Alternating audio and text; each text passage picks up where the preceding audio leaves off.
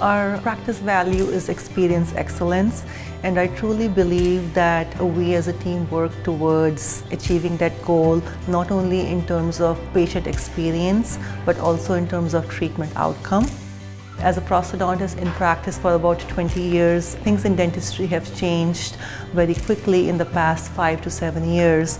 We have, as a practice, invested into the latest technology that has not only improved the quality of the result that I provide, it has significantly improved the patient experience.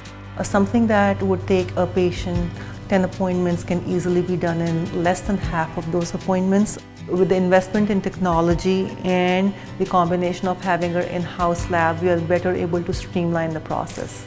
Prosthodontics is technically supposed to be the most challenging aspect of dentistry in terms of the complexity of the work that we have to plan and execute with other specialists. Uh, that has always been exciting to me. Even after 20 years in practice, it still remains exciting because of the technology that is out there to meet those challenges. My first full mouth rehab was completed in 2004 and this is 2022. I still see the patient back from his general dentist every couple of years. He's still doing great. It is such a pleasure to see the difference I've been able to make in people's lives over the course of their lifetime.